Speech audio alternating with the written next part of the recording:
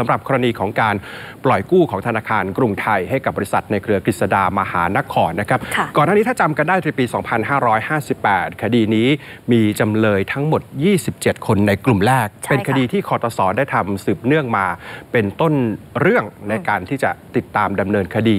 กลุ่มนี้ รายชื่อจำเลยคนที่หนึ่งก็คือพันตำรวจโททักษิณชินวัตรอดีตนายกรัฐมนตรีในตอนนั้น ซึ่งศาลได้ยกคำร้องในส่วนของคุณทักษิณได้มีการ จำหน่ายคดีจำหน่ายคดีกปเอาก่ไว้นชั่วคราว เพราะว่าตัวคุณทักษิณไม่อยู่คดีใช่ค่ะครับ แล้วก็มีการออกหมายจับมาส่วนจำเลยที่เหลือก็มีคำพิพากษา ในการตัดสินจำคุกไล่กันไปตั้งแต่ 2 ปีไปจนถึง 18 ปี แล้วก็ค่ะร่วมกันชดใช้เงินให้กับธนาคารกรุงไทยด้วย คดีนี้หลายท่านอาจจะลืมไปแล้วบ้างเพราะว่าจริง ๆ แล้วคดีมันเกิดขึ้นนานแล้วถูกไหมคะคุณรัฐวุฒิใช่ครับแล้วก็กว่าจะส่งฟ้องได้ศาลใช้เวลาพิจารณา 3 ปีถึงได้ทราบว่าใครที่ต้องรับผิดชอบในคดีนี้บ้าง แต่ว่ายังก็ยังมีบางส่วนที่เกี่ยวกับว่าเอ๊ะเอาไปซุกเอาไปฟอกที่ไหนหรือเปล่า เพราะฉะนั้นวันนี้เราจะไปติดตามรายละเอียดเรื่องนี้ให้ครบทั้งกระบวนการนะคะกับผู้ที่เคยทำหน้าที่ตรวจสอบคดีนี้มา ก็คือหนึ่งในอดีตคณะกรรมการตรวจสอบ การกระทำที่ก่อให้เกิดความเสียหายแก่รัฐ หรือชื่อย่อก็คือคอตสอาจารย์แก้วสันอติโปธิตอนนี้ท่านอยู่ในสายแล้วนะคะ อาจารย์แก้วสันสวัสดีค่ะ สวัสดีครับสวัสดีครับทั้งสองท่านท่านผู้ฟังเชิญครับผม ค่ะครับอาจารย์ครับในกลุ่มผู้ที่เกี่ยวข้องทั้งหมดเกี่ยวกับการปล่อยกู้ของธนาคารกรุงไทยให้กับเครือกฤษดามหานครในยแยกเป็นกลุ่มๆยังไงเหลือใครอีกบ้างที่ยังไม่มีการดำเนินคดีครับคือเรื่องของเรื่องเนี่ยมันมันเป็นเรื่องในการเอาเงินออกจากธนาคารโดย โดยไม่ถูกต้องแล้วก็ครับมีพฤติกรรมเรื่องเราเชื่อเป็นการทุจริตค่ะซึ่งอันนี้ศาลท่านก็ตัดสินไปแล้วครับค่ะแต่ทีนี้มันปัญหาก็คือว่าใน คดีนี้เนี่ยมันมันพอไล่ตามเงินไปว่ามันไปไหนเนี่ยนะฮะค่ะครับ ก็ไปพบว่า คือ ตามสิทธิ์ที่ขอกู้แล้วควรที่ควรจะปฏิบัติเนี่ย ก็คือเขาบริษัทอสังหาริมทรัพย์ แห่งหนึ่งเนี่ยเขามีมีที่ขนาดใหญ่อยู่ตรงสวนภูมิค่ะ แล้วติดอยู่ในแบงก์กรุงเทพอืม เป็นหนี้อยู่แล้วแอร์คัดก็เหลือประมาณถ้าจำไม่ผิดหกพันล้าน ครับ ทีนี้บริษัทแห่งนี้ต้องการจะเอาที่มาพัฒนา ก็ใช้วิธีเปลี่ยนเจ้าหนี้ก็คือ โอนโอนหนี้จากแบงก์กรุงเทพมามาที่ธนาคารกรุงไทย ค่ะ มันก็ต้องกู้ กู้กรุงไทยไปเอาเอาที่ดินออกมาแล้วก็ ปรากฏว่าแอร์คัดมันราคาหนี้มันหกพันครับ ไปกู้ได้ตั้งแปดพันอือหือส่วนต่างสองพันค่ะซึ่งอันนี้มันเกิดขึ้นไม่ได้ค่ะเพราะปกติถ้าเป็นเป็นการซื้อหนี้ระหว่างแบงก์เขาเขาไม่เอาเงินให้ลูกค้าถือหรอกเขาโอนจากครับแบงก์ไปแบงก์อ่าแต่นี้พอให้ลูกค้าไปแล้ว ลูกค้าก็เอาไปให้แบงก์กรุงเทพแค่หกพันครับค่ะสองพันก็แฮปไปแฮปก็คือยักยอกอะนะค่ะมันไหลเข้าไปที่ไหนยังไงครับอาจารทีย์นี้พอในสมัยธนาคารแห่ง ประเทศไทยนะสมัยนั่นคือเป็นคุณคุณคุณชายอุ๋ยน่ะนะฮะค่ะท่านเป็นผู้ว่าเนี่ยมันตอนเรื่องมันตรวจพบเนี่ย ท่านก็สั่งติดตามเงิน ค่ะ แล้วก็แจ้งไว้ที่ดีเอสไอเรื่องก็คาอยู่ตรงนั้น ค่ะตอนนี้พอเกิดกมชปฏิวัติอืมคอตสนะฮะเราก็มีอำนาจหน้าที่รับโอนคดีมา ค่ะ เราก็ตั้งทีมแล้วก็ไล่ตามเงินกันยกใหญ่ว่าเงินมันไปไหน ก็พบว่าเงินร้อยกว่าล้านเนี่ย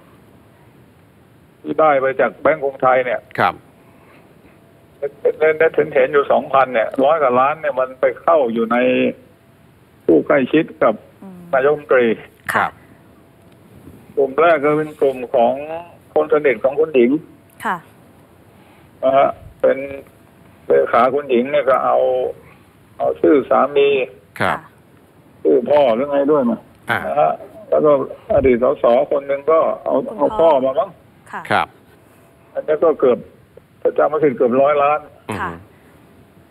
เงินมาอยู่ตรงนั้นอือหือแล้วมีก้อนหนึ่งพบว่ามันมันเป็นเช็คออกมาแล้วแล้วมีการขีดค่า ครับ21ล้านค่ะสั่งจ่ายปานทองแท้ อืมกินวัตรแล้วก็ค่าทิ้งครับค่ะนะฮะไอ้ตรงเนี้ยอือหือมันก็ทำให้เราไปตรวจที่ต้นตอพยานสำคัญในชั้นระดับสูงก็ มีผู้ยอมให้ปากคำว่าเป็นเรื่องนายสั่งมา อืมอืมค่ะ อืมเพื่อนายสั่งมา แล้วก็เดียวกันปลายทางก็มีเงินโผล่ที่ญาติของนาย นะฮะค่ะครับไอ้ตรงเนี้ยมันก็ทำให้เจือสมแล้วก็เชื่อได้ว่า มันมีการสั่งการโดยนายกรัฐมนตรีค่ะ เพราะฉะนั้นอาจารย์คะขออนุญาตทีนินี้ดทีนึนี้งค่ะนะเอาเชิญอาจจะถามว่าเพราะฉะนั้นกลุ่มที่อาจารย์ไล่เรียงมาทั้งหมดร้อยกว่าล้านตรงนี้ที่ไปเข้าบัญชีคนสนิทคนใกล้ชิด กลุ่มนี้ที่ยังการสอบสวนเนี่ย ในชั้นคอตสเจอถูกไหมคะ ก็ตรงนี้เนี่ยเวลาเราจะส่งฟ้องเนี่ยค่ะมันก็มีปัญหาก็เถียงกันว่า อยู่ในอำนาจศาลหรือเปล่าหรือเปล่าคะอาจารย์ ปกติคือคดีมันติดพันกันอะครับนะฮะจะผมจับจับในกอลักทรัพย์แล้วอ่าฮะ ของโจรไปอยู่ที่ร้านครับ ร้านทีเล้งปกติเขาฟ้องกันทั้งคู่อะค่ะ เป็นคดีเดียวค่ะ ก็เถียงกันอยู่อืมนะฮะอีกความเห็นหนึ่งซึ่งอันนี้ทางอรสอัยการสูงสุดเขาก็เอาเขาก็ยืนตรงนั้นก็คือว่า ในศาลคดีอาญานักการเมืองเนี่ย มันมีต้องมีคนที่ไม่ใช่นักการเมืองจะไปโดนคดีด้วยค่ะต้องเป็นผู้สมรู้ร่วมคิดครับ ร่วมกระทำการอืมนะฮะตอนนี้คนที่รับเงินไว้เนี่ยไอ้ตรงนี้เนี่ยมันเป็นเรื่องสมรู้กันหรือเปล่าค่ะ อืมนะฮะหรือช่วยฟอกเงินเฉยค่ะครับ ๆหรือลายนึงอาจจะไม่รู้เรื่องอ่าฮะนะฮะเอาถูกเอาชื่อไปใช้เป็นประจค่ะำนะฮะก็ได้อืม ก็ในสุดทางอรสเขาเขาก็เห็นว่าควรจะแยกต่างหากควรจะฟ้องเฉพาะที่นักการเมืองกับผู้สมรู้ค่ะครับ ซึ่งคดีนี้ก็ยุติไปแล้วอ่าค่ะแต่ในคดีที่ตัดออกมาต่างหากแล้วค้างอยู่วันนี้ก็เป็นเรื่องอรสกับดีไซไอค่ะอายการกับดีไซเขาเขาจะวิเคราะห์กันว่าหลักฐานถึงไม่ถึงอืมยังไงบ้างอ่าแต่มัน มันก็อธิบายยากอะนะเงินครับ ไปอยู่กับคุณเนี่ย คุณก็ครับต้องมีหน้าที่นำสืบหลักหลักอืมหลักในทางกฎหมายฟอกเงินนี่มัน ถ้าไม่มีไม่สุจริตไม่เสียค่าตอบแทนเนี่ยเขาสันนิษฐานไว้ก่อนว่ารู้ ครับ ก็ต้องดูว่าทางหน่วยดีไซน์กับอายการเขาเขาจะใช้บทสันนิษฐานนี้ไม่ยังไง อ่าต้องรอดูเดี๋ยววันนี้การ สรุปประชุมในวันนี้สุดท้ายแล้วแถลงข่าวออกมาจะเป็นอย่างไรนะครับ ขอบพระคุณครับอาจารย์แก้วสันก็ครับมันก็มันนานจังเนี่ยหึอ่าเพราะเพราะว่าจะคดีความนี่เหลืออีกหนึ่งปีอีกหนึ่งปีอายุอาจารปีย์2561 จะหมดอายุแล้วเออเนี่ยพครับยงพยานตายไปเยอะแล้วผมก็จำเลยไม่ค่อยได้แล้วอ่าอะเดี๋ยวรอดูความคืบหน้าครับเดี๋ยวรอวันนี้ดูความคืบหน้าค่ะแล้วเดี๋ยวจะได้นะครับมีโอกาส พูดคุยกับอาจารย์อีกครับสวัสดีขอบพระคุณมากค่ะครับอาจารย์แก้วสานติโพธินะครับค่ะสรุปก็คืออาจารย์บอกว่าในครั้งที่มีการปล่อยกู้เนี่ยแทนที่อืมพอให้กู้แล้วไม่ได้โอนเข้าไปธนาคารจะไปรีไฟแนนซ์หรือว่าอะไรก็ตามแต่ว่าค่ะโอนเข้าไปบัญชีผู้บริหารของเครือกฤษฎามหานครอืมแล้วเงินส่วนหนึ่งจากบัญชีผู้บริหารมันไหลเข้ามาบุคคลใกล้ชิดกับกลุ่มของคุณ